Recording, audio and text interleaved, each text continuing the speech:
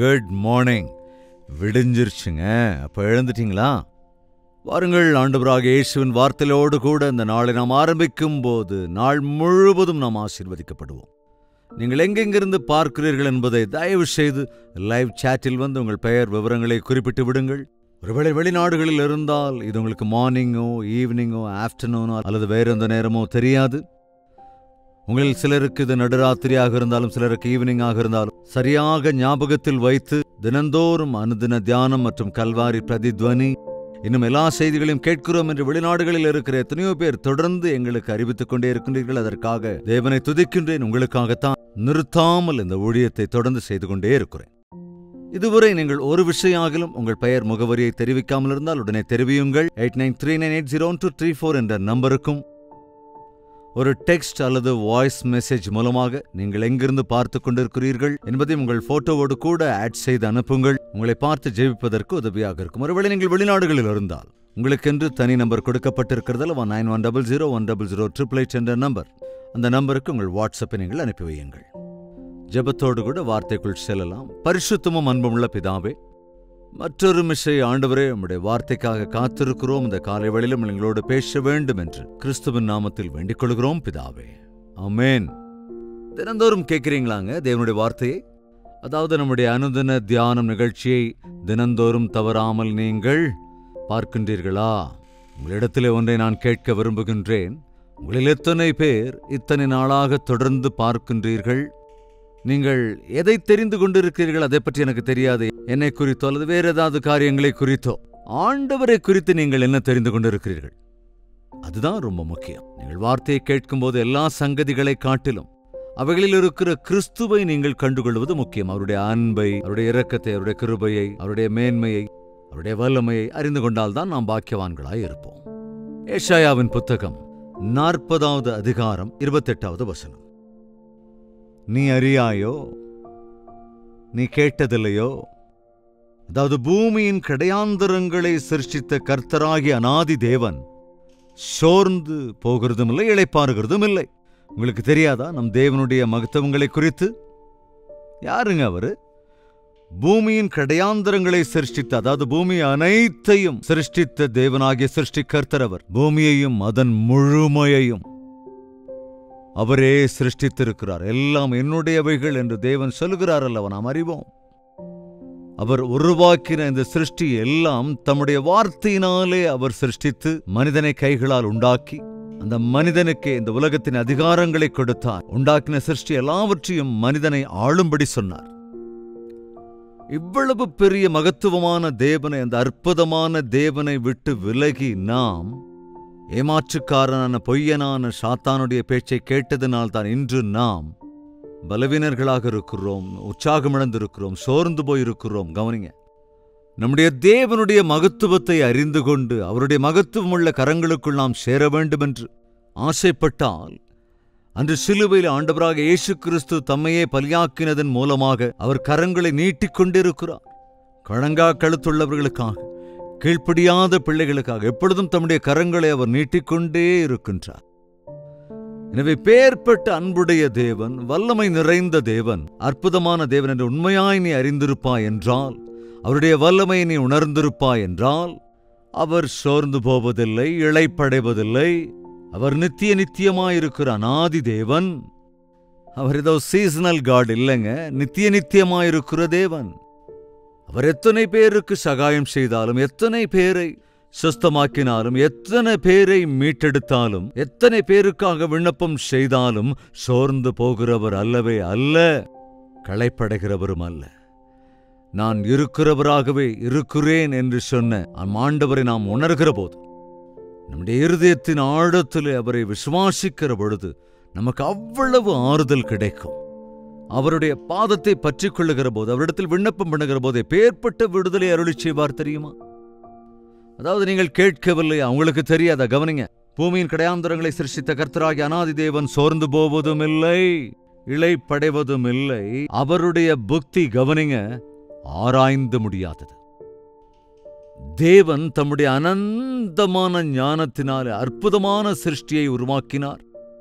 ஆச்சரியத்துக்கு ஏதுவாக நம்மை சிருஷ்டித்தார். அது மாத்திரமல்ல அந்த மனிதன் கெட்டுப்போகிற போது சாத்தானுக்கு அடிமையாகி போன போது தேவனுக்கு கோபம் உண்ட போதிலும் நீ நீ சாகவே ஷாவா என்ற நிலை வந்தபோதும் கூட அவர் மனிதனை கொல்லாமல் அந்த மனிதனுடைய இறப்பை தான் ஏற்றுக்கொள்ள வேண்டும் அவனை உயிரோடு பிழைக்க வைக்க வேண்டும் என்ற அனந்தமான அவருடைய ஞானத்தினாலே அவரே சரீரத்தில் மாம்சத்தில் பங்கெடுத்தவராய் இந்த உலகத்திற்கு வந்து நம்முடைய மரணத்தை அவர் விழுங்கி அவர் மூலமாக நமக்கு நித்திய வாழ்க்கையை அருளிச் செய்த ஞானம் அதிவுன்னதமான ஞானம். பாவிகளாகிய நாம் நரகத்துக்கு பாத்திரவான்கள். பிசாசானவனுக்காக ஆயத்தப்படுத்தப்பட்ட பாதாளத்தின் அக்கினிச்சூளைக்கு போக வேண்டிய நம்மை. தம்முடைய அனந்த ஞானத்தினாலே கல்வாரி சிலுவையில் தம் பிராய்ச்சித்த பலியாக நம்முடைய பாவத்திற்கு பரிகாரம் செய்து நம்முடைய பாவத்திற்காக நமக்கு மன்னிப்பை அருளிச் செய்து. அவருடைய இரத்தத்தினாலே நம்மை கழுவி சுத்திகரித்து அவருடைய ராஜ்யத்தின் வாரிசுகளாக நம்மை ஆக்கிக் கொண்டிருக்கிற அதிவுன்னதமான ஞானத்தை உடைய தேவன். இப்பேற்பட்ட தேவனை நாம் கொண்டிருக்கின்றோம்? அவர் எங்கோ இருந்து கொண்டிருக்கிறார். என்ன பிரயோஜனம் என்பது போல் அல்லாமல் தேவனுடைய மகத்துவத்தை நாம் அறிந்து கொள்ளும்போது அவர் நமக்கு மிகவும் நெருக்கமாக இருக்கிறார் தேவன் எங்கோ உட்கார்ந்து கொண்டு கதைகளை சொல்லிக் கொண்டிருப்பதில்லை. அவர் நம் மத்தியிலே இருந்து கொண்டிருக்கிறார். இம்மானுவேல் என்றால் தேவன் நம்மோடு கூட இருக்கிறார். நான் போகிறேன் ஆனாலும் உங்களை அனாதைகளாக விடமாட்டேன். நான் போய் உங்களுக்கான தேற்றரவாளனை அனுப்பி வைக்கிறேன் என்றார். எனவே நல்லா கவனிங்க. சோர்ந்து போகிறவனுக்கு அவர் பலன் கொடுத்து சத்துவம் இல்லாதவனுக்கு சத்துவத்தை பெருக பண்ணுகிறார். சோர்ந்து போய் இருக்கீங்களாங்க களைத்து போயிட்டீங்களா? உடைஞ்சு போயிருக்கீங்களா? இனி இவ்வளவுதானா என்னுடைய வாழ்க்கை? என் கணவர் என் கைவிட்டு போய்விட்டாரே. நான் பெற்ற பிள்ளை என் கண் முன்னே இறந்து போய்விட்டானே. என் மனைவி எனக்கு துரோகம் செய்து விட்டாளே.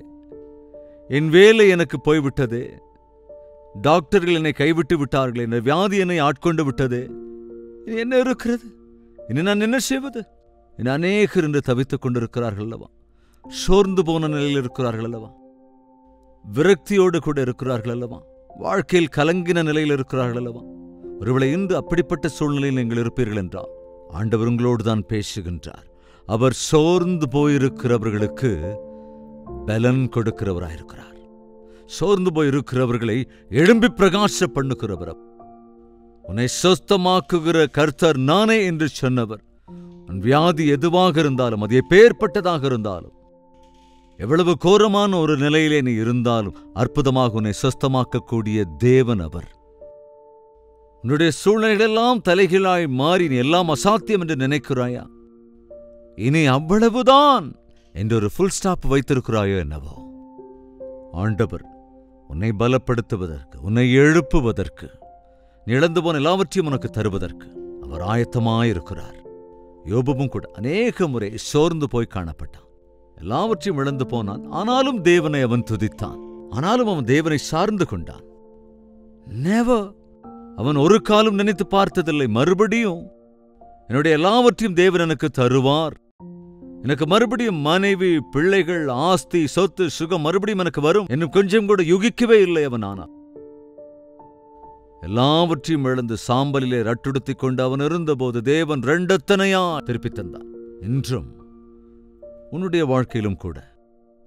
எல்லாவற்றையும் இழந்து போய் ஒரு பரிதாபமான சூழ்நிலைக்கு தள்ளப்பட்டிருந்தால் ஆண்டவரின் பட்சமாய் திரும்பினால் அவரை மாத்திரம் நீ விசுவாசிப்பாய் என்றால் அற்புதங்கள் நடக்கும் சோர்ந்து போனவர்களுக்கு பலன் தருவார் சத்துவம் இல்லாதவர்களுக்கு சத்துவத்தை அருள் செய்கிறவராயிருக்கிறார்.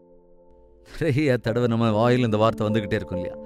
இனி எனக்கு சத்தியே இல்லை இனி எனக்கு பொறுமையே இல்லை வேறொரு விதமாக சொன்னேன் அப்படித்தானே?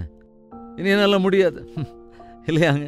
நிறைய தடவை. போராடி போராடி போராடி. அது பண விஷயமா இருக்கலாம் அல்லது பிள்ளைகளுடைய விஷயமா இருக்கலாம் குடும்ப விஷயமாக இருக்கலாம் எதிர்கொள்ளுகிற பிரச்சனைகளின் விஷயமாக இருக்கலாம். இனி என்னால் முடியாது. நீ எழுத முடியாது பரீட்சை. என்னால் நீ எழுதவே முடியாது. இனி என்னால் படிக்க முடியாது. இனி எனக்கு வேலை கிடைக்காது. இனி எனக்கு எதிர்காலமே இல்லை என்று எத்தனையோ தடவை. என்னோட சக்தியெல்லாம் முடிஞ்சு போச்சு. என் பலனெல்லாம் குன்றி போச்சு. எனக்கு பொறுமையே இல்லை. என்னால் இனி முடியவே முடியாது என்று. அந்த கட்டத்துக்கு நீங்க வந்திருந்தீங்கன்னா கவனிங்க. கவலைப்படாதீங்க. ஆண்டவர் உங்களோடு இருக்கிறார். அவருக்கு காத்திருந்து ஆண்டவரிடத்தில் நீ விண்ணப்பம் செய்தால் சத்துவம் இல்லாதவர்களுக்கு சத்துவத்தை அருளுகிறேன் என்கிறார். இளைஞர் இழைப்படைந்து சோர்ந்து போவார்கள். வாலிபரும் இடறி விடுவார்கள். அநேக வேளைகளில் இடறி என்றால் இடறுவது என்றால் பாவத்திலே விடுவது அல்ல. சில சோதனைகளிலே நாம் தடுமாற்றத்தில் இருப்போம் இல்லையா? அந்த சோதனைகளினால அதாவது சில வேளையில் சோதனைகளுக்கு நாம் இடம் கொடுத்து விடுகிறோம் அல்லவா? ஆனால் நீ எந்த நிலையில இருந்தாலும் இனிதான் என்னுடைய வாழ்க்கை. நான் அந்த பாவத்துக்குள்ள விழுந்துட்டேன். பாழாயிட்டேன். என்னுடைய ரட்சிப்பை நான் இழந்து போயிட்டேன். என் விசுவாசமெல்லாம் போயிடுச்சு. நான் தப்பு பண்ணிட்டேன். நான் பொய் சொல்லிட்டேன். நான் ரொம்ப பெரிய தவறு பண்ணிட்டேன். என்று நீ சோர்ந்து போய் விரக்திக்கு ஆளாகிற அந்த சமயத்துல ஆண்டவர் சொல்லுகிறது ஒன்றே ஒன்றுதான். கர்த்தருக்கு காத்திருக்கிறவர்களோ புது பலன் அடைவார்கள். ஆட்டோமேட்டிக்கா சோர்ந்து போன எல்லாருக்கும் பலன் எப்படி வரும்? ஆட்டோமேட்டிக்கா சோர்ந்து போயிருக்கிறவனுக்கு பலனற்று போனவங்களுக்கு சத்து இல்லாதவங்களுக்கு சத்து எப்படி வரும்? அது தன்னைத்தானே அப்படியே வந்துடாதுங்க. நீ சோர்ந்து போகிற சமயங்களிலே உனக்கு சத்துவமே இல்லை என்ற ஒரு சூழ்நிலையில இடறி விழுந்து விடுவேனோ என்று பயப்படுகிற நேரத்துல தேவனே எனக்கு சகாயம் அருளுங்க என்று அவருடைய சமூகத்தில் நீ விண்ணப்பம் செய்தால் காத்திருந்தால் இன்னைக்கு எத்தனையோ பேருங்க சம்பளத்துக்காக எதிர்பார்த்துக்கிட்டு இருக்காங்க வேலைக்காக காத்துக்கிட்டு இருக்காங்க பிரயாணத்துக்காக காத்திருப்பாங்க விசாவுக்காக காத்துக்கிட்டு இருக்காங்க. ஆனா எத்தனை பேர் தேவனுக்காக காத்திருக்கீங்க? எத்தனை தடவை காலே தேஞ்சு போற அளவுக்கு வேலைக்காகவும் இந்த உலகத்தின் காரியங்களுக்காகவும் அங்க இங்கன்னு அலையுறீங்க. ஆனால் எவ்வளவு நேரம் தேவனை உண்மையா தேடுறீங்க? எவ்வளவு நேரம் தேவனுடைய சன்னிதியிலே நீங்க முழங்கால் படிவிடுறீங்க தயவு செய்து இப்படிங்கள் சோர்ந்து போகிற சமயத்திலே ஆண்டவரின் பாதத்தை பற்றிக்கொள்ள கற்றுக்கொள்ளுங்க. உங்க வீட்டுல ஏதாவது ஒரு மூலைக்கு போய் ஆண்டவரே என்ன கொஞ்சம் பாருங்க அது என்ன கண்ணோக்கி பாருங்க. என்னுடைய நிலைமையை கொஞ்சம் பாருங்க. என்னுடைய இருதயத்தை ஆண்டவருடைய சன்னிதியில் நீ ஊற்றி பாரு. புது பலனை ஆண்டவர் அருள் செய்வார். கர்த்தருக்கு காத்திருக்கிறவர்கள் புது பலன் அடைந்து கடுகுகளைப் போல செட்டைகளை அடித்து எழும்புவார்கள். அவர்கள் ஓடினாலும் இளைப்படையார்கள் நடந்தாலும் சோர்ந்து போகார்கள். முதல் ஸ்தானத்துல பலனற்றவர்களாக சத்துவம் இல்லாதவர்களாக இடறுகிறவர்களாக சோர்ந்து போகிறவர்களாக நாம் இருப்போம் அப்படிங்கிற விஷயம் நம்ம நிறைய பேருக்கு தெரிஞ்சிருக்கு. அப்படிப்பட்ட சமயத்தில் ஏதோ ஒரு விதத்தில் அவைகளிலிருந்து வெளியே மீண்டு வர வேண்டும் என்று குறுக்கு வழியை தேடியோ அல்லது போதைகளை தேடியோ அல்லது வேறு வழியிலே கடனை தீர்ப்பதற்காக வேறொரு இடத்துல கடன் வாங்கி வேறொரு விதத்துல வேறொரு இடத்துல வேறொரு விதத்துல முயற்சி செய்து இன்னும் சோர்ந்து போய் இன்னும் வேர்ஸ்ட் கண்டிஷனுக்கு போறதுக்கு பதிலாக எப்பொழுது நீ பலனற்று போயிருக்கிறாய் என்றோ உற்சாகம் இழந்து விட்டாய் என்றோ என்னுடைய வாழ்க்கையில் எல்லாமே வீண்தான் என்று சோர்ந்து போகிறாய் அந்த சமயத்துல. இயேசுவே என்ன கண்ணோக்கி பாருங்க. இயேசுவே எனக்கு சகாயம் அருளுங்க. என் கீழ்ப்படியாமையை மன்னிங்க. என் அஞ்ஞானத்தை மன்னிங்க. என் பாவங்களை எனக்கு மன்னிங்க. என் ஆண்டவருடைய சமூகத்தில் விண்ணப்பம் பண்ணினான். காத்திருந்தான். கழுகுகளைப் போல செட்டைகளை விரித்து உயர எழும்புவீர்கள். நீ இருக்கிற நிலையிலிருந்து உன்னதமான நிலைக்கு உன்னை தேவன் உயர்த்துவார். கழுகோடு எதற்காக ஒப்பிடுகிறார் என்றால் கழுகு மற்ற பறவைகளைக் காட்டிலும் செட்டைகளை வேகமாக அடித்து எழும்பிவிடும். மற்ற பறவைகள் ஒரு எல்லை மட்டும்தான் உயர பறக்கும். ஆனால் கழுகுகளோ தன்னுடைய செட்டைகளை அடித்து மிக உயர்ந்த ஸ்தானத்திலே பறக்கும்.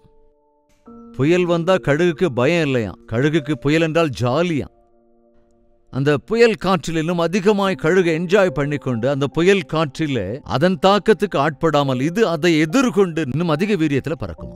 ஏஷ் கர்த்தராக இயேசுவுக்காக காத்திருக்கிறவர்கள் வாழ்க்கையில கஷ்டங்கள் இருக்காது நஷ்டங்கள் இருக்காது போராட்டங்கள் இருக்காது புயல் இருக்காது சிரமங்கள் இருக்காது அப்படின்னு நாங்க சொல்லலைங்க.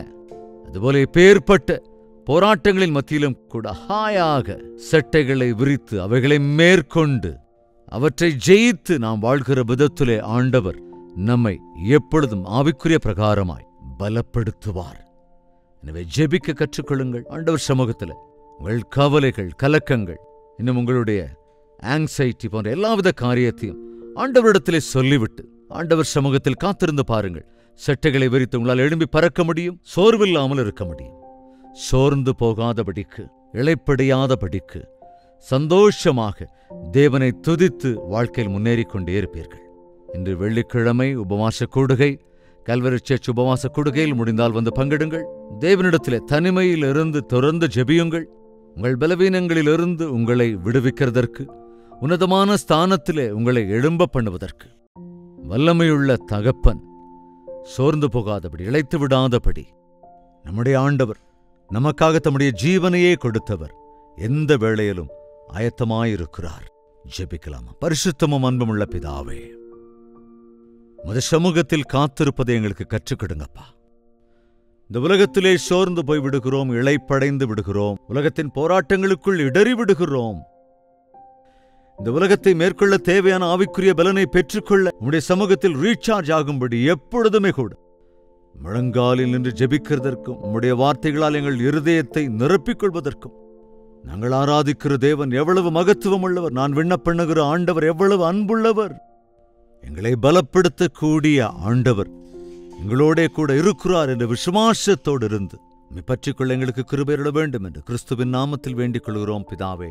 அமேன் நம்முடைய கர்த்தராக இயேசு கிறிஸ்துவனுடைய கிருபையும் பிதாவாகிய தேவனுடைய அன்பும் பரிசுத்தாவின் அந்யோன்ய ஐக்கியமும் சந்தோஷமும் சமாதானம் நம் அனைவரோடும் இன்றும் என்றும் சதா காலங்களிலும் தங்கி தரித்திருப்பதாக. அமேன் தேவனுக்கு ஸ்தோத்திரம். உங்கள் ஜெப தேவைகளை eight nine three nine eight zero one two three four number ஒரு டெக்ஸ்ட் அல்லது வாய்ஸ் மெசேஜ் மூலமாக வாட்ஸ்அப்பில் அனுப்பி தெரிவிங்கள். உங்களுக்காக நாங்கள் தொடர்ந்து ஜெபிக்கிறோம். டாக்டர் ஜெயபால் யூடியூப் சேனலை இன்னும் சப்ஸ்கிரைப் செய்யாமல் இருந்தால் சப்ஸ்கிரைப் செய்து கொள்வதோடு உங்கள் பெயர் விவரங்களை டைப் செய்து லைக் செய்வதையும் ஷேர் செய்வதையும் மறந்து விடாதீர்கள். தேவனுக்கு சித்தமானால் நாளை இதே நேரம் இதே அனுதின தியானத்தில் நாம் மீண்டும் சந்திக்கலாம். அதுவரைக்கும் தேவாதி தேவனுடைய மகா கிருபை நம் அனைவரோடும் எல்லா நேரங்களிலும் துணையாய் இருப்பதாக.